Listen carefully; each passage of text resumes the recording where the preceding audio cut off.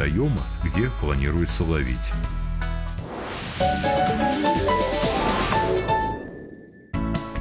Большая вода требует соответствующей снасти.